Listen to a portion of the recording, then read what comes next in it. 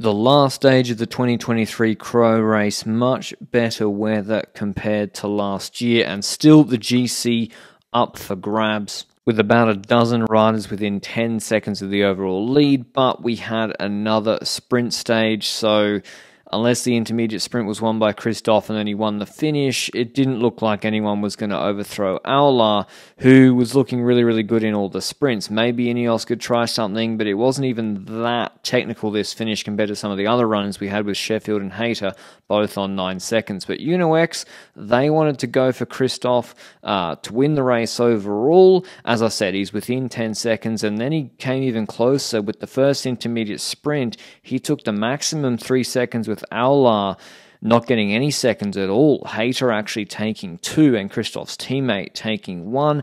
And then I think the breakaway was allowed to form, uh, but Uno-X had that under wraps as well. There was Stedman, Turk, Kostanski, Gamper, and also Martin Pedersen, who I think is the brother of Mads Pedersen on Lidl-Trek. And Caja Rural obviously weren't chasing because they want the bonies to be gone. They'd be very, more than happy for the breakaway to win. They were also uh, Uno-X getting help from Oscar Onley and DSM Firmenich, and it looked like it was under control, but this stage compared to the others, they had a bit more trouble bringing the breakaway back to Peloton. They did a few laps around the finish circuit 27 seconds with four and a half Ks to go. They only bring them back, I think, with under three kilometers to go. And by then, that's a function of the sprint trains getting set up in this big hot dog turn. So, yeah, it's.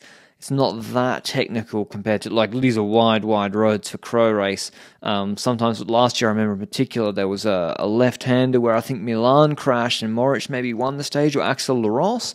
That was really, really technical and it was raining too. But uh, Ineos opt to have Sheffield on lead out duties. They don't really try to improve his GC position, although this was just a nailed on sprint stage. They got Tarling after him, then Plapp, Rowe, Swift, Viviani, and Hayter. So when we see the overhead shot, we'll be able to see that Hayter is the protected sprint. Well, at least I think that's the plan because Viviani moves ahead of him here. UnoX bringing Kristoff up the middle. He's got the aero helmet on. That's the way you can tell him apart from his teammates.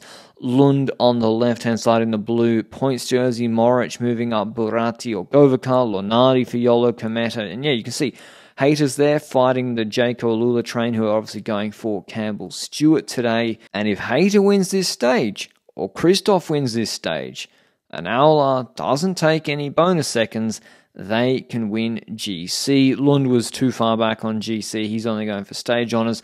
Plapp takes over, 1.3 Ks to go. Ineos train still looking pretty good. They got more numbers. Like DSM, they're now down to their last man with Lund. Aular's got nobody. Him and Leitao, they're kind of freelancing. He's like, what, 20th wheel right now, moving himself up under the Flamme Rouge. Q36.5, we're going for Parisini, who'd already won a stage here, but Rowe just doesn't have the snap on his lead out, and he goes a little bit too long, flicks Swift, I think it is, too late, and Bahrain with Moritz just wash over Uno-X and Ineos completely before a big left-hander. And you see Aular's pop his head up here. He slides in front of Viviani, in front of Parisini, and somehow gets the back of the Bahrain and Uno X train. I've actually rarely seen someone with such good. I know he crashes later, but generally speaking, someone dive bomb so much, hit caps as Aular in the Vuelta and this race and he's all of a sudden got Kristoff's back, who's been going way too early, and gets a nice run into this sprint. They catch up to might have been Aberasturi, who was doing the lead out um, for Lidl-Trek. They've had a pretty curious week. Bahrain start, and then Aular crashes. We'll see it better in the overhead. He gets closed a bit by the lead out of Bahrain, goes down face first, gets bunny hopped by the Ljubljana rider, I think it is, and then Campbell Stewart comes out of Kristoff's wheel, not only denying him the stage win, that's also the overall win gone for Kristoff. If he took those extra four bonus seconds, he wins GC here. But you see how Bahrain came across. Aular slides into, I think, Parisini's wheel. They, no, he goes ahead of him, takes Kristoff's wheel off him, although Parisini goes on the inside ahead of Kristoff, but the open side is quicker round this bend, uh, or at least Kristoff accelerates, and Aular comes underneath Parisini, and he wants to go early. Actually, he sees this open space and momentum he has to the left, as uh, you know, Kristoff was already thinking of launching.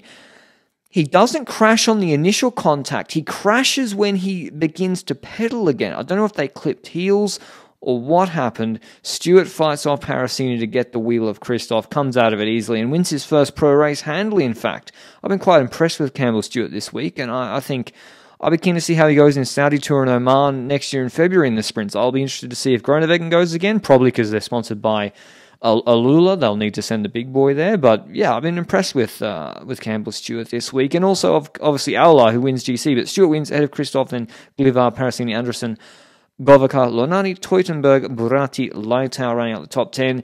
Aular crashes. I don't think he was too banged up. At least he was able to get up. That could have been a lot worse going face first, but he wins GC. Three seconds ahead of Kristoff, seven seconds ahead of Hayter, and nine seconds ahead of Sheffield.